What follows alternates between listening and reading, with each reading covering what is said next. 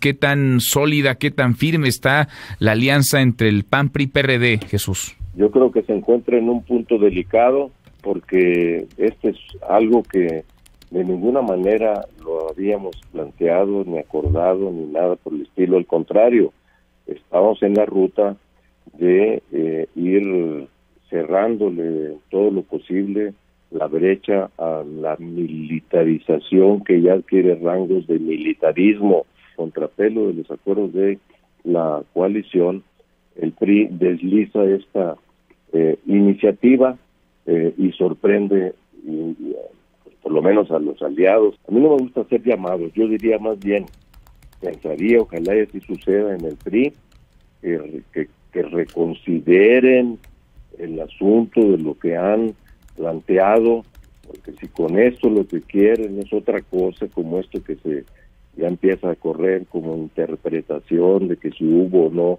un acuerdo para tal o cual cosa, desde lo que no estamos de ninguna manera planteando nosotros, eh, lo hablo como PRD, diciendo que los militares ya regresen a, los cuarteles, como si lo llegó a exigir López Obrador cuando estaba en la oposición.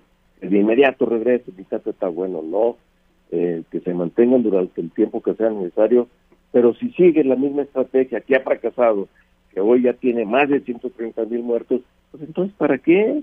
¿Para qué militarizar? ¿Para qué pasar a la Guardia Nacional? Además, sin reforma constitucional, ¿para qué pasarla a la pedena? Eso es, eh, en verdad, huele a dictadura, no puedo dejar de decirlo, el uso de las Fuerzas Armadas y el atropello a la Constitución así de la manera en que lo están haciendo, huele a dictadura. Si el PRI como tal acompaña eh, eh, y le da los votos a Morena para reformar un artículo quinto transitorio de la Constitución, entonces vamos a, valorar qué es lo que sigue. Eh, tendríamos que revisar qué sucederá con la coalición.